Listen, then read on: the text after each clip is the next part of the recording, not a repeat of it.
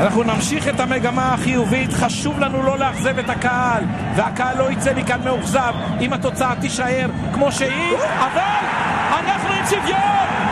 אחת, אחת! It's not over until it's over! עכשיו הזמן של האדומים מתל אביב לחגוג! קנדיל נכנע, הפועל תל אביב אחת, ויש עוד שלוש דקות לשחק. אבל השחקנים של הפועל תל אביב, שים לב, זה גול עצמי. זה גול עצמי.